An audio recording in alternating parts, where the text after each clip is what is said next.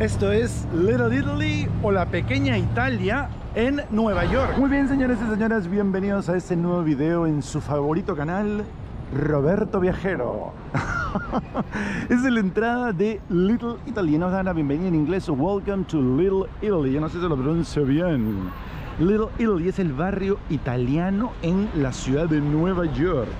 Es uno de los barrios más visitados, sobre todo por turistas del planeta entero que quizás, no sé, tenemos alguna conexión con la hermosísima, hermosísima Italia. Ahí está, miren, Café de la Venecia. Usted sabe que Italia es uno de los países, así como China, así como, mmm, no sé, España hasta cierto punto, bueno, yo porque vivo en, en Sudamérica, pero de que como que ha regado hijos por todo el mundo. Bueno, Italia eso sí. Italia, inclusive creo que ellos tienen en Italia, es muy conocido también por todas las falsificaciones. ¿ah? Ojo, y ahí seguro van a tener problemas para filmar. Y yo no quiero volver a repetir el plato que viví en Belice, que está grabado en este canal. y tiene eh, una diáspora gigante. ¿no? Italia es uno de los, creo que son los países europeos que, una, que tiene mayor diáspora, que ha abarcado mayor parte del planeta, pese a que no ha tenido más que en África colonias en ninguna parte del mundo. Muy bien, es por supuesto extremadamente turístico y al igual que el barrio chino van a vender souvenirs para los turistas. Ahí está, mira, del, estos son los, mismos pero del otro video que les sacaba, pero más grandes. Hay cientos de ese tipo de tiendas, así que usted no se preocupe, pero que su shopping y se lleve su recuerdito físico de Nueva York. Ahí está, Little Italy, por supuesto usted sabe que la comida italiana pues es así como la comida china del video que hemos filmado en eh, Chinatown es lo favorito, ¿no? O sea, la gente viene acá, sobre todo los neoyorquinos, o la gente que está de turistas, a mí por supuesto, los turistas vienen a comprar, vienen a comer acá, ¿no? Eso de noche, uy, perdón, estoy caminando a la mitad de la pista, qué bacán, sorry.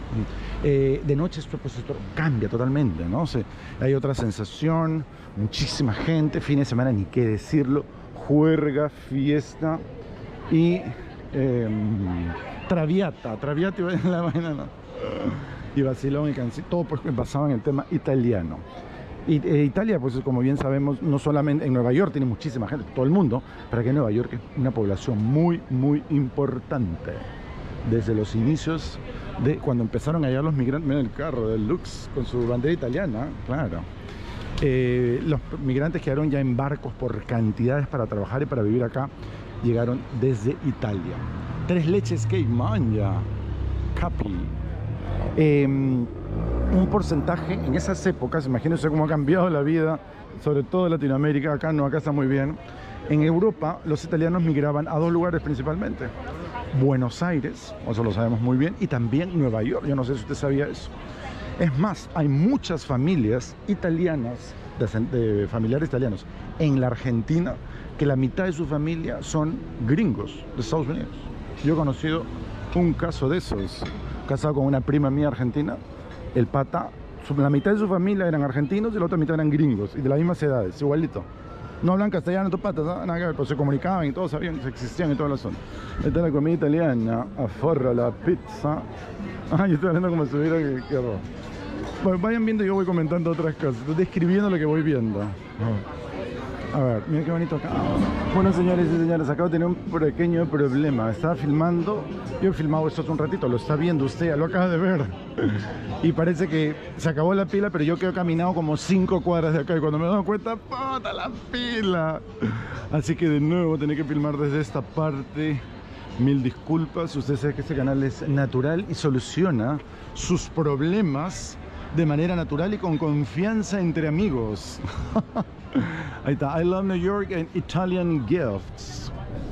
Eh, estos souvenirs son no italian, o sea, no tienen eh, que salga la palabra Italia, pero no es que haya ropa de diseñador y cosas así, no. ¿ah? Pero bueno, son souvenirs lo bien parecidos o muy, muy similares a los que puede encontrar usted en eh, cualquier tienda del Chinatown. ¿no? Muy bien, vamos a continuar. Entonces lo que hay es una seguidilla de restaurantes y en, en ese momento el día que me sorprende porque son las 6, es que los gringos comen temprano. El gringo de comer temprano. Y eh, está llenecito de gente los restaurantes. Mira qué bonito es acá. Acá empiezan los restaurantes. Hay, mira, happy hour, drinks special, 10 dólares, margaritas. Pero mire, como el estilo, eh, digamos, de Italia de pueblo probablemente, ¿no? Yo creo que Italia tiene pues el color, el sabor y la elegancia, ¿no? Esas son un poquito las...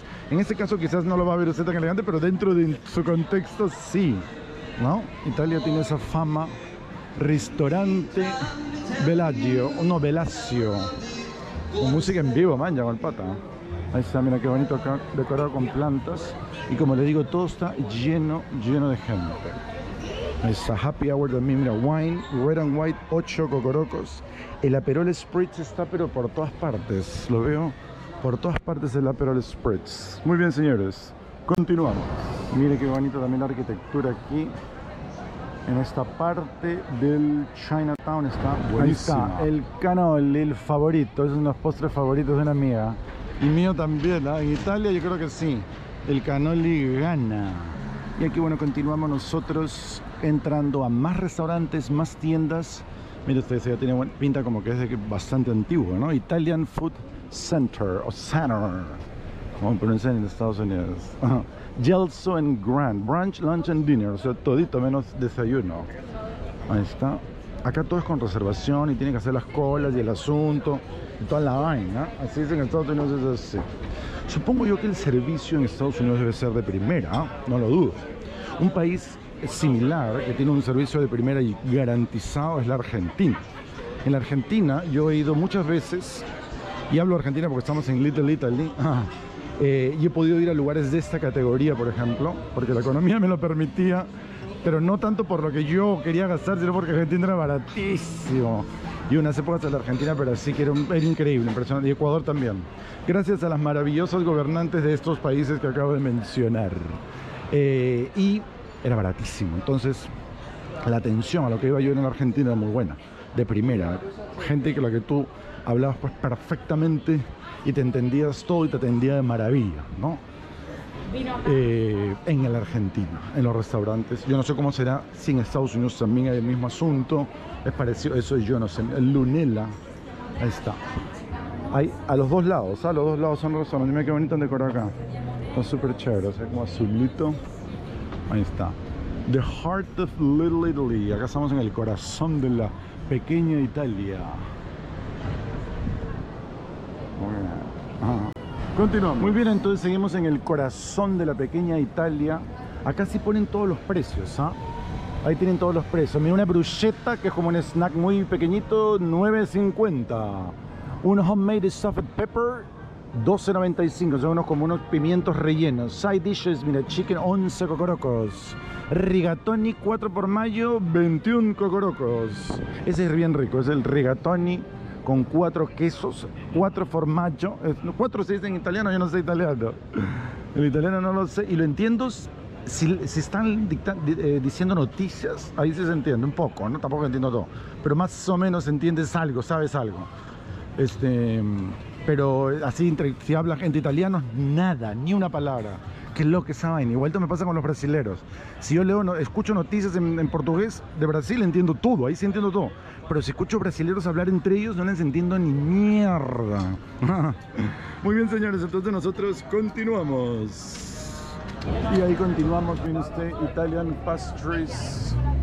Seguimos en el bonito barrio italiano que está todo, por supuesto. Mira, barrio, chino, muy identificado con Italia. Es porque el barrio chino saca al ladito. De hecho, yo terminé de hacer el video en el barrio chino y vine para acá. Mira qué bonita la reconstrucción está acá. Qué buena. Marcelino Cuchin. Y esa es, bueno, digamos, la otra parte, la otra entrada.